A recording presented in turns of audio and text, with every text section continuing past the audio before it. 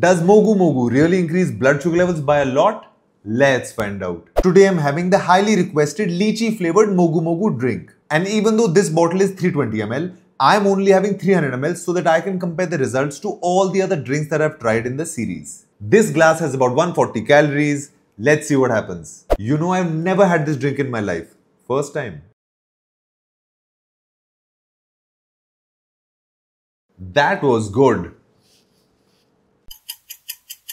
Let's see what my glucose monitor says. My god, 67 mg increase? You know, as soon as I find something tasty, I should know by now that it'll probably increase my blood sugar levels by a lot. This is officially the second highest sugar spike in the entire series so far. Only Maaza gave a higher sugar spike than this at 71 mg. This drink actually made Coke look good because when I had the same amount of Coke, 300 ml, that had given me a 58 mg spike, lower than this. I sometimes get taken in by the fact that a drink is fruit based because this drink is actually made from lychee juice concentrate and those chewy bits are made from coconut. But what I should be looking at is the total amount of sugar in it, which actually happens to be a lot, more than Coke also, can you believe it? From the drinks that I tried, it looks like orange juice, packaged coconut water, and meethi lassi seem to be a better option than mogu mogu from a blood sugar perspective. With meethi lassi actually giving me a 34 mg spike, half of this.